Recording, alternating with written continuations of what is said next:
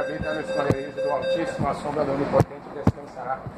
Direi do Senhor, Ele é meu Deus, meu refúgio, a minha fortaleza, e nele confiarei. Ele te livrará do laço do passarinheiro, da peste perniciosa. Te cobrirá com suas penas, debaixo de suas asas estará seguro.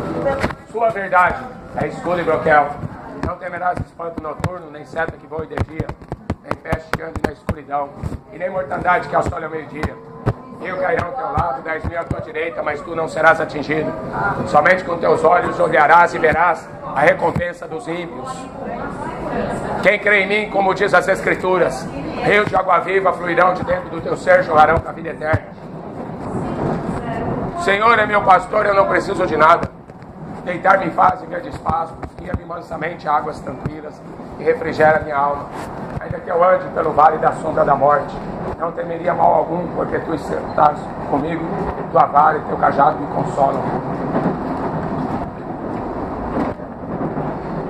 Ele que habita no esconderijo do Altíssimo, a sombra do Onipotente descansará. Direi do Senhor, Ele é meu Deus, meu refúgio, a minha fortaleza, nele confiarei. Ele te livrará do laço do passarinheiro, da peste perniciosa.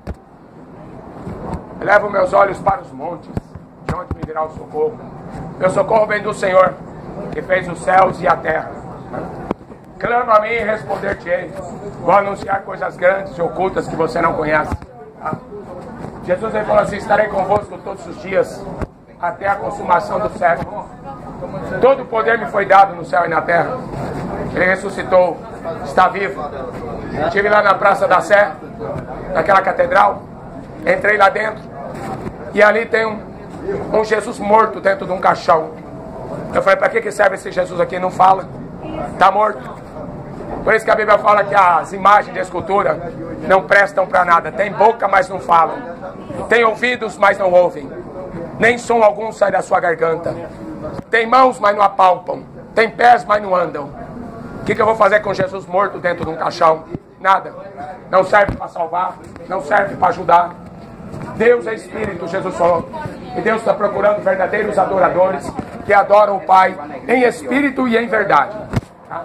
Porque se for mentira, você vai estar adorando é o diabo. Se for com imagem, você está adorando é o diabo. Jesus Cristo é o caminho, a verdade e a vida. Ninguém vem ao Pai, senão por mim. João 14, 6.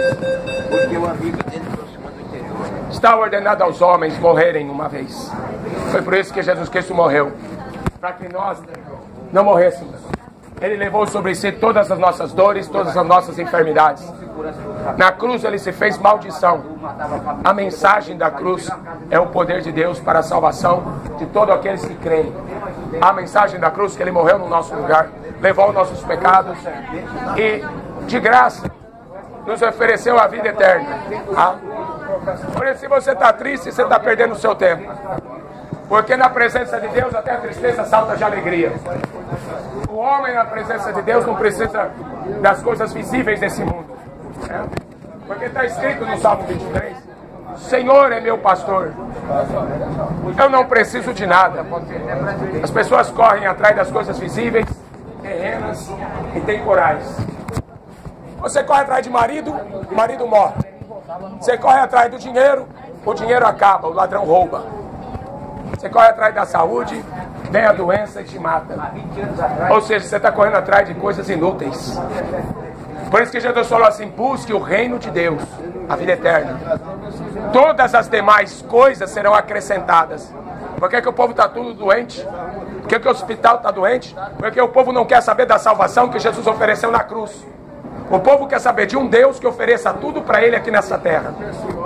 Como foi o rico. Chegou para Jesus e perguntou: O que, que eu tenho que fazer para ser salvo? Aquele rico já tinha tudo que o dinheiro dava. Jesus falou para ele: Você guarda os mandamentos? Não farás para ti imagem de escultura. Eu sou o Senhor teu Deus. Não cobiçarás, não adulterarás, não matarás. A gente já tem uma lei perfeita e boa. É só cumprir essa lei. Jesus falou para o rico: Você faz isso? Ele falou: Nunca matei, nunca roubei. Mas Jesus falou para aquele rico: Vende tudo que tem e dá o dinheiro para os pobres. Você terá um tesouro no céu. Depois você vem e me segue. O rico virou as costas e foi embora. Onde estava o coração dele? No dinheiro. Então toma cuidado com essas igrejas que só quer saber de dinheiro. Toma cuidado com essas igrejas que só falam de bens materiais.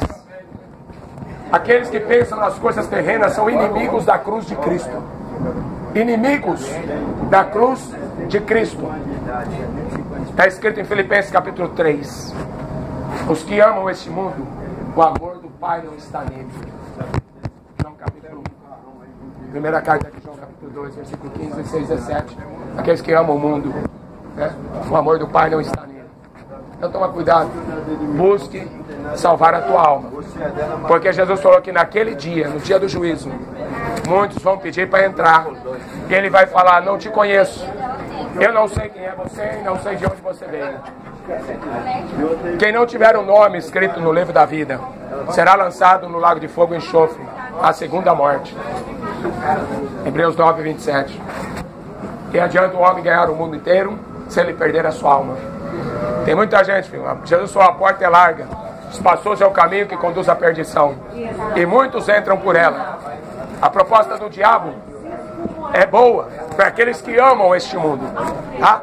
Para aqueles que amam o dinheiro, a proposta do diabo é muito boa. Te deixarei rico, te darei glória, te darei fama. Essa é a proposta de Satanás. Por isso que até o apóstolo Paulo escreveu assim, 1 Timóteo capítulo 6, versículo 5. Religião é uma causa de grande lucro. Muita gente fica rico. Papa Francisco está montado no dinheiro. Macedo está lá montado no dinheiro. João de Deus estava montado no dinheiro. Tá? Ninguém vai ser justificado com religião, não.